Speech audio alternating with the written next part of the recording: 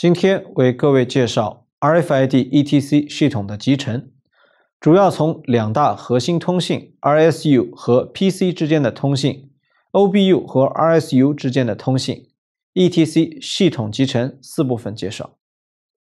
两大核心通信分别是 RSU 和 PC 之间，OBU 和 RSU 之间。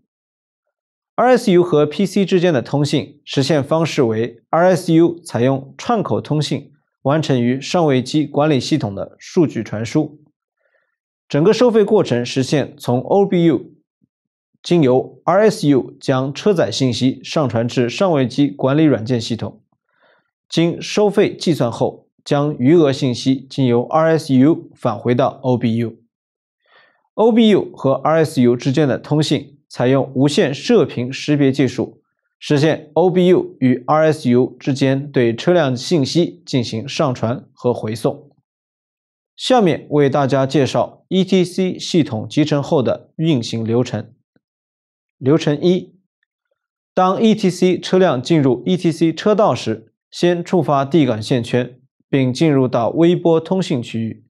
此时，系统接收到来自地感线圈检测的车辆驶入信号。在将车辆加入系统队列后，随后启动 RSU 设备，在通信区域内完成车辆的交易。流程二：系统根据交易情况控制车道上的栏杆抬起或保持落下状态，以及将车辆的综合信息显示在显示屏上。流程三：收费完成，ETC 车辆继续向前行驶。车辆启动摄像机对车牌进行抓拍和识别。